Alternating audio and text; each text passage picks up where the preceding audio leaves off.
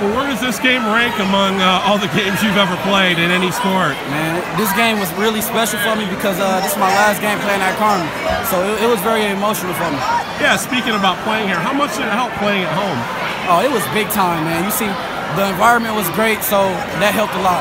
What does it mean to you that I think Jay calls you and Omari and Mike, his three-headed horseman. You guys scored all but one point tonight. Did you know that? No, I didn't even know that. that. That's surprising, though. Yeah, what's that say, though? What's that say about the leadership you guys provide? Oh, yeah, it's big time here. I mean, we take we, we take pride in it.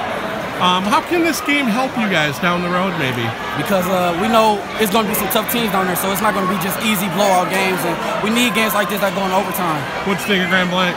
Man, Grand Blanc is great, man. I got a couple friends on the team. Some I play AAU with.